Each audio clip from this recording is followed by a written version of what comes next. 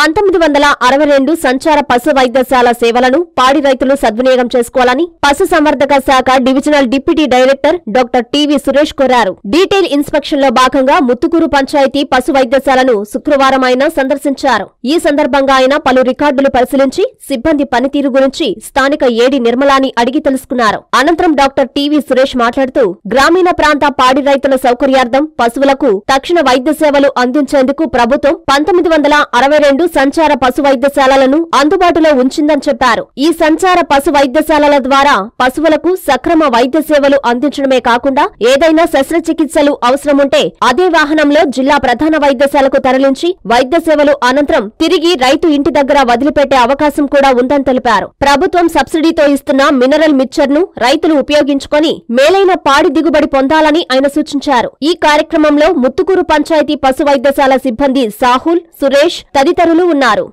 మా డైరెక్టర్ గారి ఆదేశాలు అనుసారం ఆదేశాలు అనుసార ప్రకారం మేము డీటెయిల్ ఇన్స్పెక్షన్ ముత్తుకూరు పశు వైద్యశాలకి ఏరియా వెటనరీ హాస్పిటల్కి వచ్చున్నాము మామూలుగా సంవత్సరంలో జరిగేటటువంటి కార్యక్రమాలు పనితీరును సమీక్ష మరియు రికార్డుల తనిఖీ అదేవిధంగా ప్రభుత్వ సంక్షేమ పథకాల అమలు తీరుపై మేము ఈ డీటెయిల్ ఇన్స్పెక్షన్ చేపడతాము.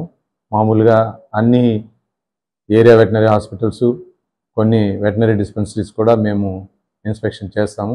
అయితే ప్రభుత్వం తరఫున మేము ఇస్తున్నటువంటి సేవల్లో భాగంగా ఆర్బీకే ద్వారా మేము సబ్సిడీ కింద పశుగ్రాస విత్తనాలు ఇస్తున్నాము.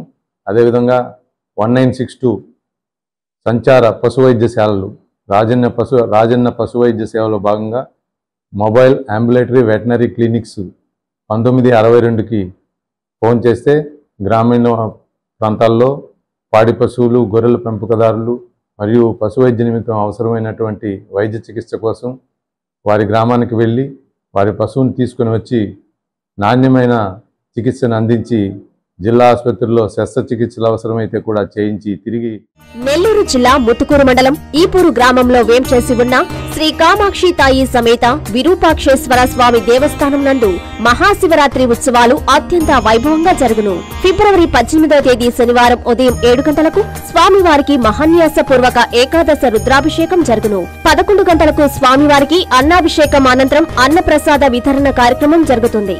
సాయంత్రం ఏడు గంటలకు పార్వతీ పరమేశ్వరుల కళ్యాణం అత్యంత వైభవంగా జరుగును. రాత్రి పదకొండు గంటలకు లింగోద్భవ కాలమందు స్వామివారికి భక్తుల చేతుల మీదుగా విశేష అభిషేకాలు. పంతొమ్మిదో తేదీ ఆదివారం తెల్లవారుజామున మంగళ వాయిద్యములతో కోలాట నృత్యాలతో స్వామివారికి గ్రామోత్సవం వైభవంగా నిర్వహించబడును. పై కార్యక్రమంలో భక్తులు విశేషంగా పాల్గొని స్వామివారిని దర్శించి వారి కృపకు పాత్రులై తీర్థ ప్రసాదాలు స్వీకరించవలసిందిగా కోరుతున్నాం. దేవస్థాన అభివృద్ధికి అనునిత్యం సహకరిస్తున్న రాష్ట్ర వ్యవసాయ శాఖ మాత్యులు శ్రీ కాకాని గోవర్ధన్ రెడ్డి గారికి ప్రత్యేక ధన్యవాదములు. ఇట్లు శ్రీ దువ్వూరు విశ్వమోహన్ రెడ్డి గారు వంశపారంపర్య ధర్మకర్త శ్రీ జీసీహెచ్ దర్గయ్య గారు కార్యనిర్వహణాధికారి దేవాదాయ ధర్మాదాయ శాఖ నెల్లూరు.